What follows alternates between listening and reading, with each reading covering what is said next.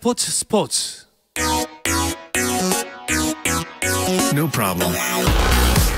다양한 스포츠 이야기를 나누는 정 PD와 김 기자 시간입니다. 먼저 중앙일보의 김지한 기자와 인사 나누겠습니다. 어서 오십시오. 안녕하세요. 네, 반갑습니다. 네.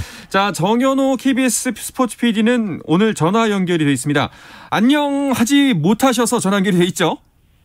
아, 제 목소리를 들어보시면 아시겠지만 네. 목이 완전히 맛이 갔습니다. 아, 그래요?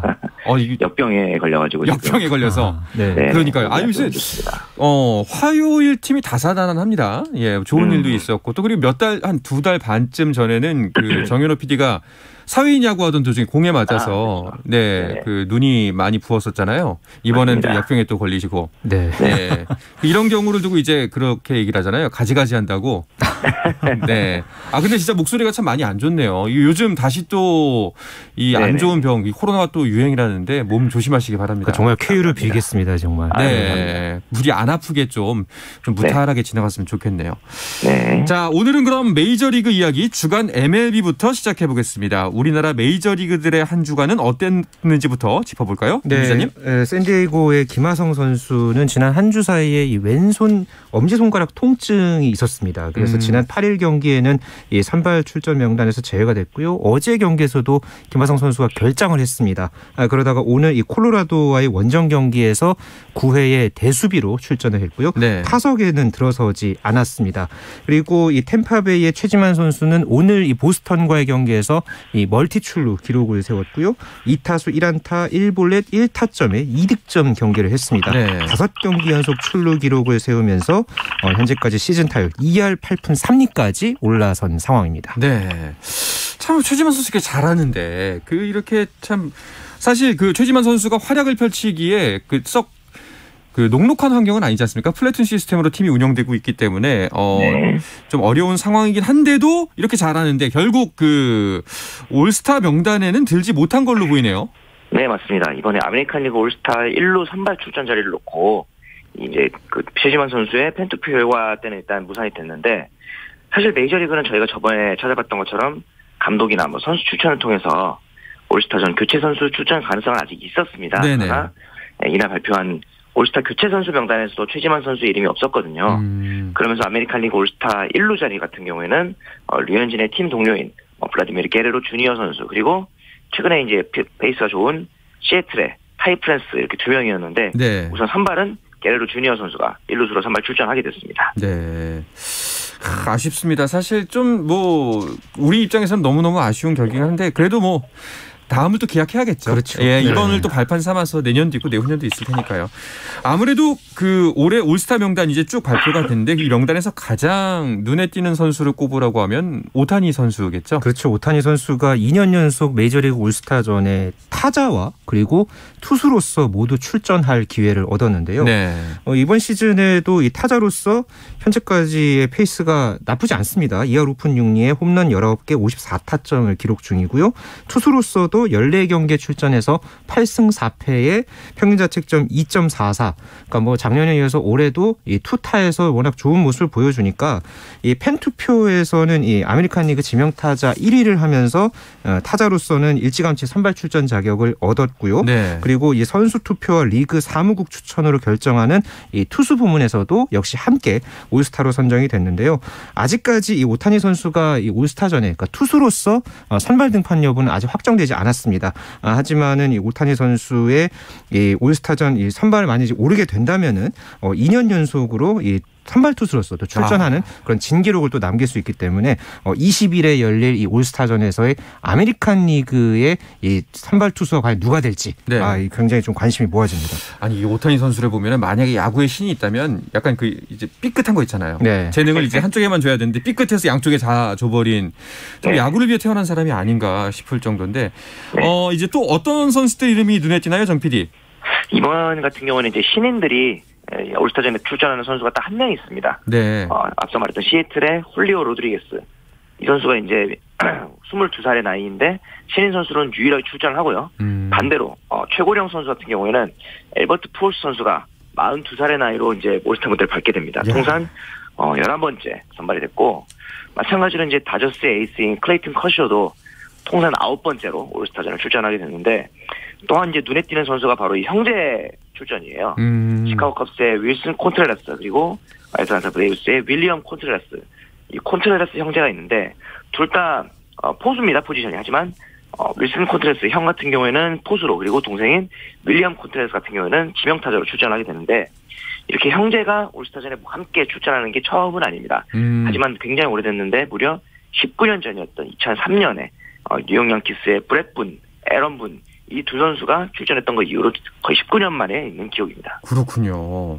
그런가 하면은 또 양키스는 지금 뭐 압도적인 1위답게 올스타를 6명이나 배출했더라고요. 네, 그러니까는 한 팀에서 올스타에 뭐두명 이상 배출하는 것도 이 메이저리그에서는 정말 대단한 일인데 네네. 워낙에 양키스가 저희가 이 시간에 뭐 정말 대단한 한 시즌을 보내고 있다 이런 말씀 많이 드리고 있는데 올스타전에도 역시 이 명단에 무려 6명이나 이름을 올렸습니다.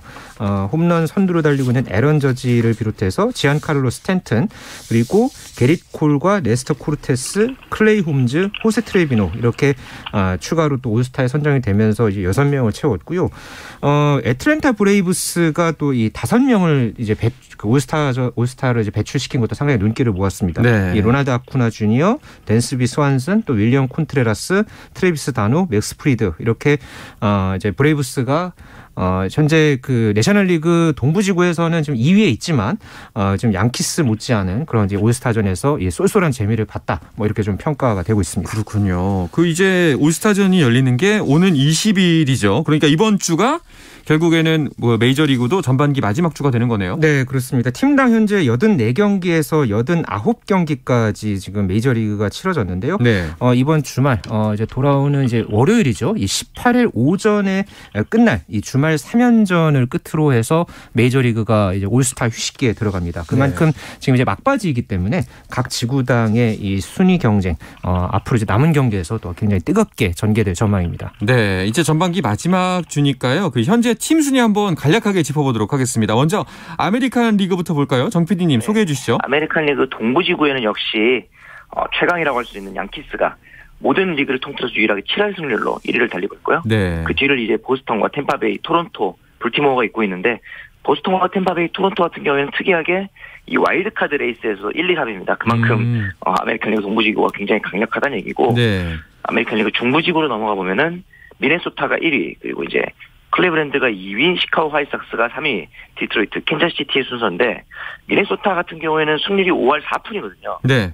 어떻게 보면은 아메리칸 리그 동부지구 2위인 보스턴보다 낮은 승률이지만 어쨌든 선두를 달리고 있고 어 중부지구 같은 경우는 이런 식으로 굉장히 어, 순위 싸움이 치열하지만 동부지구와 마찬가지로 서부지구도 순위 싸움이 약간 갈라져 있는 느낌이 있는 게 1위인 휴스턴이 승률 6할 5푼으로 압도적인 1위입니다.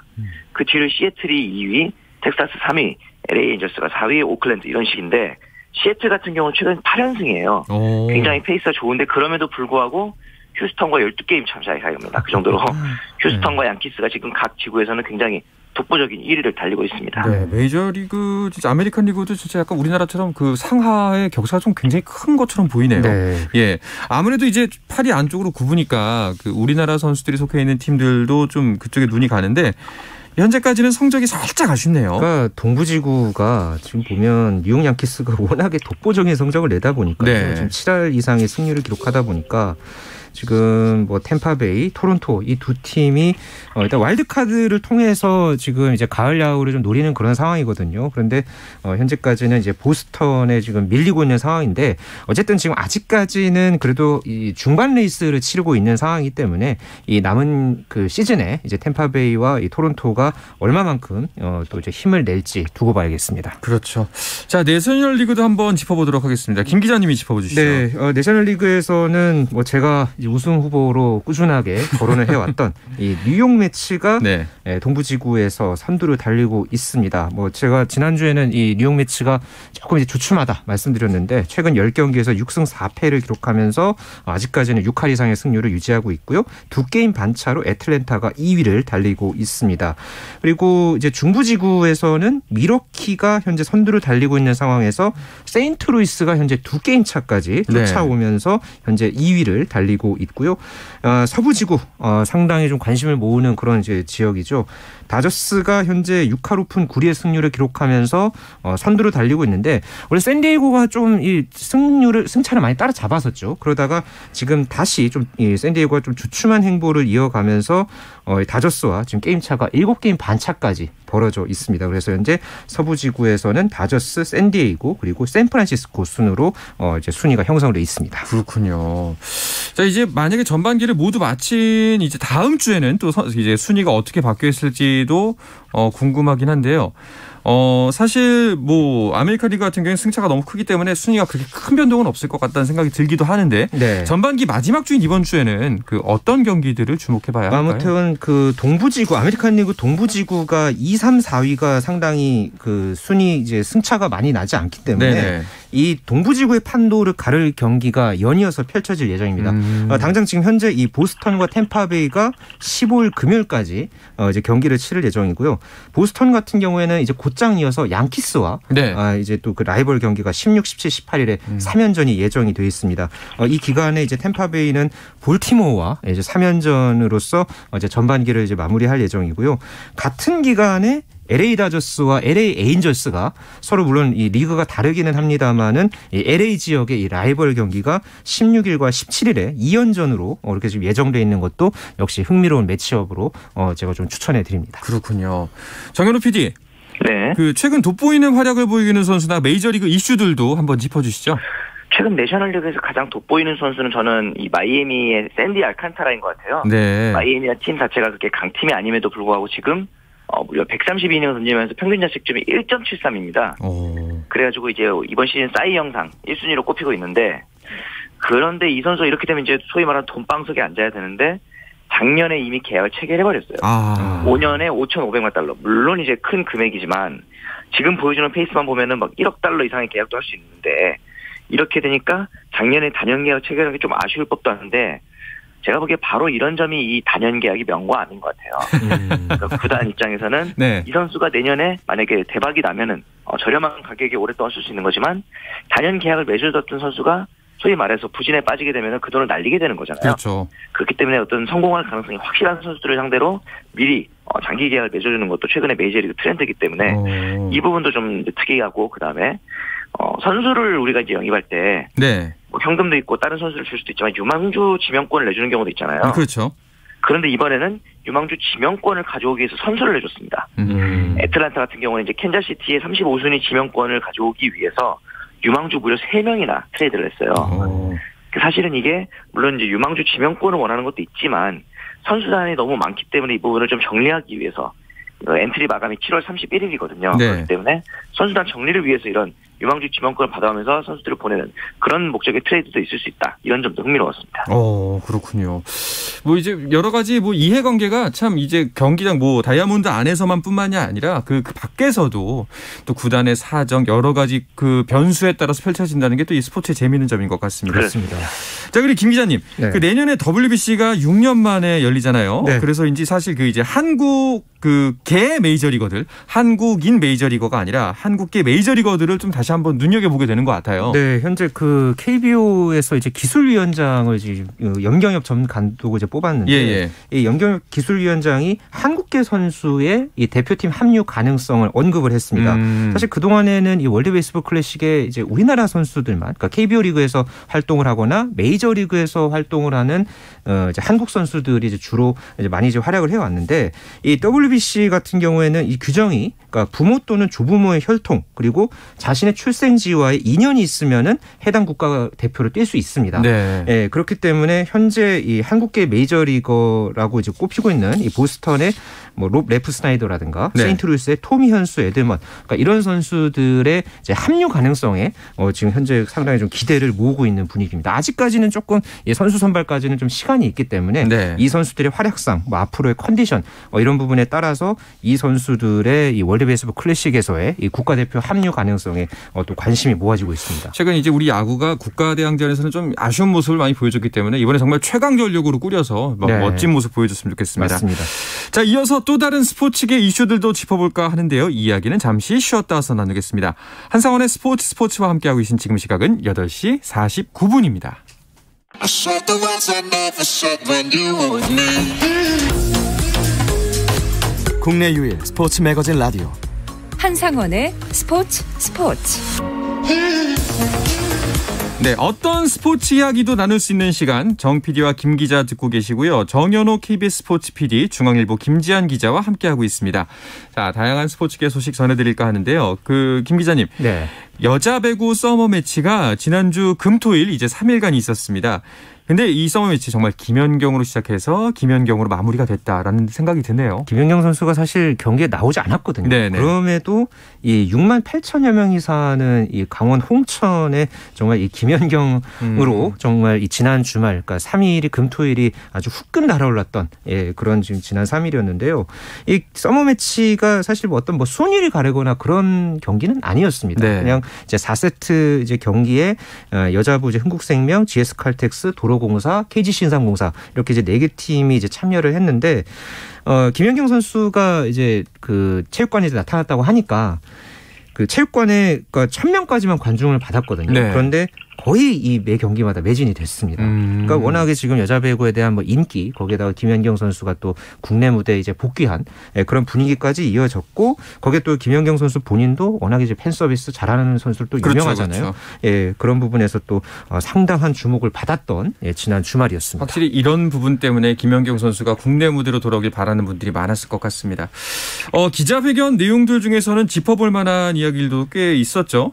네, 맞습니다. 김연경 선수 했던 얘기 중에서 일단 한국에 들어오는 것이 가장 중요했다는 얘기를 했는데 그 이후의 내용들이 저는 좀 더 의미가 있었던 것 같아요. 왜냐면은 어, 스피드 배구 이제 해외 트렌드가 세계적인 트렌드가 배구의 스피드가 중요해졌다라는 얘기를 하셨고 네네. 그다음에 이제 후배들에게도 해외 진출을 좀 많이 할 것을 좀 강조했어요. 음. 사실 이전부터 우리나라 어, 코보가 이제 W 이제 우리나라 여자 배구가 어, 선수들의 연봉이라든가 시장 규모에 비해서 국제 경쟁력이 떨어진다 이런 비판이 많았는데 조금 연봉이라든가 이런 것들이 좀 적더라도 해외에 나가서 다양한 문물을 접했으면 좋겠다 이런 의도가 느껴지는 인터뷰였거든요. 그런 부분에 있어서는 역시 김연경 선수가 어, 물론 본인의 처우도 있겠지만은 앞으로 이제 여자 배구가 나아갈 길에 대해서 얘기해주는 좀 그런 대인배적인 면모도 느껴질 수 있었고 예, 향후에 그 경, 장, 장래 하고 싶은 일에 대한 얘기도 했었는데 원래는 어, 은퇴하고나서 배구 쪽을 할 생각이 없었다고 하더라고요. 어. 방송이라든가 뭐 다른 분야 이런 쪽에서 활동할 생각이었다 이런 얘기를 했었는데 지금은 이제 은퇴하더라도 배구 쪽에 몸담으면서 뭔가 배구계에 도움이 되는 일을 하고 싶다 이런 얘기를 또 하는 것도 인상 깊었습니다. 그렇군요. 어, 그리고 그, 김 기자님. 네네. 어, 테니스 얘기도 해볼까 하는데, 윈블던 테니스 대회 1회전에서 권순우 선수를 이겼던 조코비치가 결국 우승컵을 들어 올렸네요. 결국은 뭐 어차피 우승은 조코비치다 뭐 이런 생각이 들 정도로 네. 아, 조코비치가 결국은 이 권순우 선수를 꺾은 그 기세를 이어서 계속해서 음. 올라서면서 결승에서 호주의 니키리오스를 상대로 해서 3대 1로 네. 역전승을 거두면서 윈블던 4연패 달성에 성공했는데요. 이렇게 되면서 이 조코비치 선수가 메이저 통산 우승 기록이 21차례까지 늘면서 어 이제 로저 페더, 페더러를 따돌리고 네. 어 이제 라팔 나달이 이제 갖고 있던 22회 이 메이저 우승 기록에 또 한 발짝 다가섰고요. 어 결승전이 열렸던 당일 날이 또 이 조코비치 선수의 결혼 기념일이었다고 해요. 어. 예, 그래서 이 정말 개인적으로는 조코비치 선수 개인적으로는 상당히 또 의미 있는 그런 또 우승이었었습니다. 그렇군요. 정현호 PD. 네. 전화기 너머로 리액션이 들려옵니다. 네. 아, 정말 훌륭한 직원이에요. 네, 그런 전화 거죠. 연결을 했는데도 네. 저기서도 리액션을 하고 있어요. 네. 예, 천생 방송인이구나 이런 생각이 듭니다. 네. 감사합니다. 자 그리고 이제 기쁜 소식이 또 하나 있었는데. 어 14세 이번에 최, 최초였죠. 그 새로 신설된 14세 남자 단식에서는 무려 우리나라 선수가 우승을 했더라고요. 그렇습니다. 이 조세혁 선수가 우승을 차지했죠. 예. 이번 처음 생긴 10세, 14세 이하 윔블던 대회에서 어, 남자 단식 결승에서 카렐 오브리엘 은고노에 이 미국 선수를 꺾고 우승컵을 들었는데 2대 0으로 꺾었어요. 음. 사실 첫 세트 같은 경우에는 어, 타이브레이크까지 갔기 때문에 조금 불안한 점이 있었는데 이 세트를 따내면서 분위기를 타서 2세트에서는 게임 스코어가 3대 3인 상황이 있었는데 이 상황에서 듀스에서 또 브레이크를 합니다. 그러니까 지금 첫 세트 때 타이브레이크도 그렇고 3대 3에서의 듀스 상황 이 두 번이 저는 승부처였다고 생각을 해요. 그래서 네. 이 두 번의 상황에서 승기를 잡은 다음에 그 다음에 내리 세 게임을 추가하면서 이제 우승을 하게 됐단 말이죠. 야. 조세혁 선수가 물론 나이가 어리긴 하지만 이런 승부처에서 자기 플레이를 보여준다는 점에 있어서는 앞으로도 좀 더 두각을 나타내지 않을까 그런 기대가 됩니다. 네. 아니 물론 주니어 얘기긴 하지만은 진짜 어, 우승 윔블던 그래도 윔블던 그렇죠. 에서 네. 우승을 했더니 정말 대단한 소식인 것 같은데 어려서부터 두각을 나타냈던 선수라면서요. 네, 그러니까 이 선수가 뭐 운동 선수 DNA가 뭐 타고났다 뭐 오. 이런 좀 이야기들이 있듯이 부모님이 모두 테니스 선수 출신이라고 해요. 네. 예, 그래서 이 8살 무렵에 전국 대회에서 먼저 우승을 했고요. 10살부터 한살 월반 대회까지 예, 그 국내 대 트로피를 이제 쓸어 담으면서 어 작년에 아 지난달에 이 중학교를 자퇴를 했습니다. 그러니까 왜냐하면 해외 투어에 전념하기 위해서 어. 예, 테니스 선수로서 뭔가 이 발전 가능성이 있다 이렇게 보고 어 지금 이제 계속해서 이제 성장을 하고 있는데 이 선수가 그 181cm 키에 몸무게가 69kg입니다. 네. 그만큼 예, 체격이 탄탄하고 그리고 이 서브가 또 장점이고 워낙에 또 이런 큰 대회의 경험을 바탕으로 해서 자신감을 줄곧 잘 쌓아간다면 어 그동안에 이제 우리나라에 뭐 권순우 선수도 있었고 뭐 나아가서는 정현 뭐 이영택 선수까지 이런 이 스타급 선수들 이상의 어떤 그런 활약을 펼칠 것으로 아주 기대가 됩니다. 정말 미래가 기대가 되는 선수가 등장한 것 같습니다. 어, 여자부 같은 경우에는 어, 이번에 첫 최초 우승자를 또 탄생을 시켰네요. 맞습니다. 이 카자흐스탄의 리바키나 선수인데 네. 사실 카자흐스탄 선수가 테니스 이 메이저 대회에서 우승하는 것 자체가 굉장히 보기 드문 일이잖아요. 그렇죠. 이번에 이제 준결승에서 꺾은 선수가 시모나 할렙, 음. 유명한 시모나 할렙을 꺾었고 이제 그랜드슬램 결승 진출 자체가 이 리바키나에게 처음이었거든요. 결승전에서 온스 자베르를 꺾으면서 그랜드슬램 우승을 처음으로 달성했는데 어떻게 보면 카자흐스탄 입장에서는 굉장히 국가적인 어, 경사잖아요. 그래서 그렇죠. 이 토카예프 카자흐스탄 대통령이 어, 리바키나 선수에게 친선 훈장을 또 수여를 했고요. 어. 이에 이제 발맞춰서 카자흐스탄 최초로 당연히 또 이제 메이저의 단식 우승이 최초입니다. 네. 리바키나 같은 경우는 이번 상금에 30억 원 가가, 가까이 되는데 이 상금 중에 일부를 카자흐스탄의 자선단체에 기부를 하기로 했습니다. 사실 리바키나 선수가 어렸을 때 주로 했던 게 어, 체조 그리고 이제 스케이팅이었거든요. 아무래도 카자흐스탄 하면은 뭐 체조라든가 그다음에 이제 아시아 그 동계 종목도 나름 강점이 있는 나라이기 때문에 그런 스포츠들을 하다가 테니스로 좀 전향을 했는데 그러면서 이렇게 프로로 데뷔한 것 자체가 어 4년밖에 안 됐습니다. 어. 근데 이제 이 선수가 리바키나 선수가 원래부터 카자흐스탄 국적은 아니었고 러시아에서 어, 카자흐스탄으로 바꾼 케이스입니다. 그리고 나서 이제 카자흐스탄에서도 어떤 테니스의 그 붐을 일으키기 위해서 전폭적인 지원을 했었는데 그 이제 저- 전폭적인 지원에 있어서 수혜를 받은 최초의 케이스다 이렇게 보면 될 것 같습니다. 그렇군요. 자 마지막으로 그 이번 주에 또그빅 스포츠 이슈 그 세계 육상 선수권 대회가 펼쳐집니다. 정 PD가 이거를 피하기 위해서 아프다는 그 설이 있어요. 자 여기서 그 주목해 할 경기 아주 짧게 그김 김 기자님이 정리해 주시죠. 네, 뭐 아무래도 우상혁 선수의 예, 이제 이 높이뛰기 한국 선수 이 세계 선수권 첫 우승에 상당히 네. 기대를 지금 갖고 있고요. 그리고 그밖에도 뭐 역시 육상하면 또 100m죠. 그렇죠. 100m 대결이 또 남녀 모두 또 어떻게 지금 경기가 치러질지 아주 또 기대가 됩니다. 네, 알겠습니다. 자, 이 이야기를 끝으로 이번 주 정 PD와 김 기자는 마치겠습니다. 정현호 PD, 네. 목소리가 너무 안 좋아서 사실 안쓰러웠습니다. 네, 그러게요. 어, 어서 쾌차하시길 바라겠습니다. 자, 오늘은 감사합니다. 여기서 인사드리도록 하겠습니다. 두 분 고생하셨습니다. 네, 감사합니다. 네, 감사합니다. 자, 내일도 저녁 8시 30분에 뵙겠습니다. 한상원의 스포츠 스포츠!